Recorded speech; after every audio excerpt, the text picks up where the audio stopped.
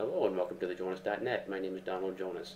Today I'm going to start my first tutorial in a three-part video tutorial series on setting up Samba 4 as an Active Directory domain controller and on that same server we're going to be running DNS and DHCP.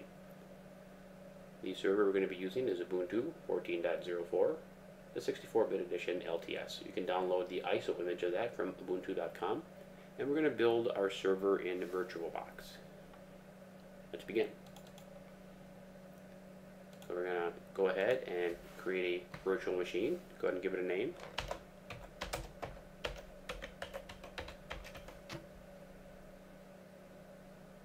Choose type and version. Allocate some memory to this virtualization. Taking mostly defaults here, dynamically allocated for the uh, hard drive. And I'm going to choose a over 100 gigabyte of space. I'm not actually committing to this because it's not fixed, it's dynamically allocated. This is just what the virtualization could expand to. Uh, otherwise, it's just going to be a small fraction of this, which is a good way of doing virt virtual machines. That way it doesn't eat up a lot of real estate on your hard drive. create, settings, make a quick, quick changes here. Under processor, go ahead and we're going to give it two CPUs, uh, display, kick it up to 128 megabytes, and under network, we're just going to set it to bridged so it's available on the network. Go ahead and click on start, click the folder to the right, choose your ISO image that you've downloaded, and we're going to start the installation process. On the installation wizard, I'm going to take mostly the defaults. I will pause the recording of this tutorial periodically throughout the installation wizard as a time-saving measure, but it will always be recording during the required prompts.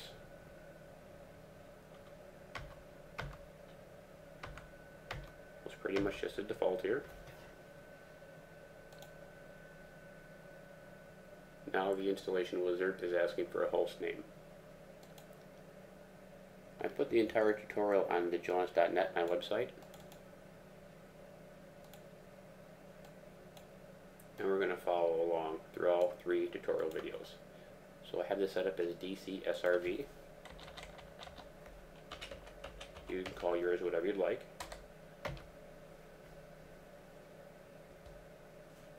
Full name, the new user, I'm just going to call him DC admin. And the same thing for the account. Go ahead and apply a password.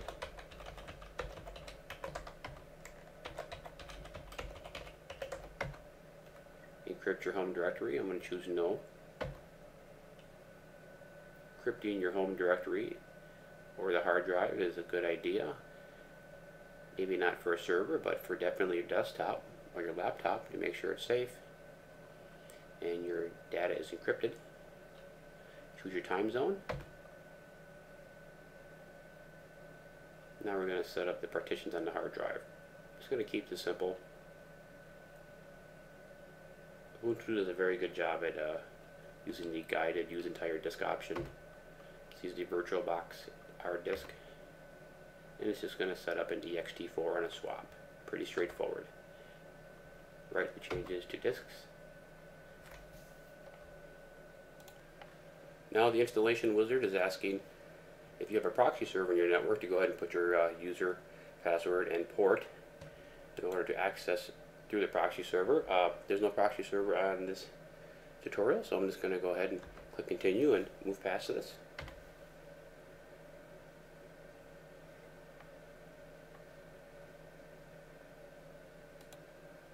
How do you want to manage upgrades in the system? I'm going to choose no automatic updates. Updates is something that you can do well I like to do them manually myself just to make sure that they're applicable to the software I've installed on my server. That, once again, is personal preference. For this tutorial, we're just going to choose Open SSH Server. We need more software, we can install it as needed. Install the Grub bootloader to the master boot record and choose Yes and this nearly completes the installation.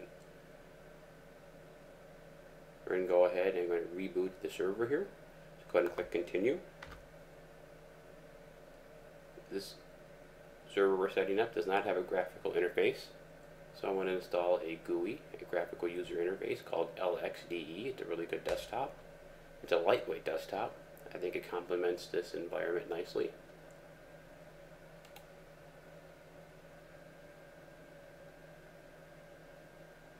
And install, uh, log into the server with the local account we had set up earlier.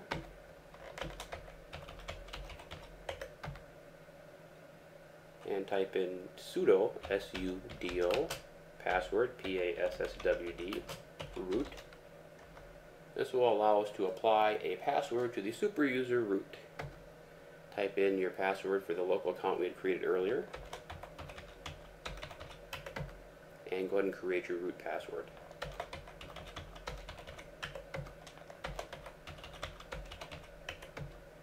Type in SU to elevate yourself to a root at super user and type in the newly created root password. And let's run the app get update command. This will test the server out to the internet, have it check in with the default repositories that were created during the installation process. For this entire tutorial series, I'm just going to use the default repositories. Go ahead and do app get install LXDE. And choose Y for yes, and this will take a few minutes to uh, download and install. Of course, it varies upon your uh, network speed. I'm going to pause the recording while this is taking place, and I'll be right back. The LXDE desktop is installed. The LXDE desktop does not come with a web browser, so if you require a web browser, you can run the apt-get install Firefox. Uh, a web browser is not necessary for this tutorial. The only piece of software I'm going to install is XRDP, which gives you the ability to remote into your server from a Windows computer using your remote desktop protocol or any other RDP application that you might install on a Linux server or on a Mac. So let's go ahead and install that. The first piece we'll need is tight VNC server. It works very well with XRDP.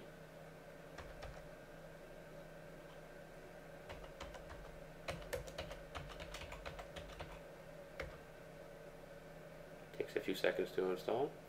It needs to be in this order for XRDP to work properly. At least that's what I've come to uh, experience. And next will be XRDP.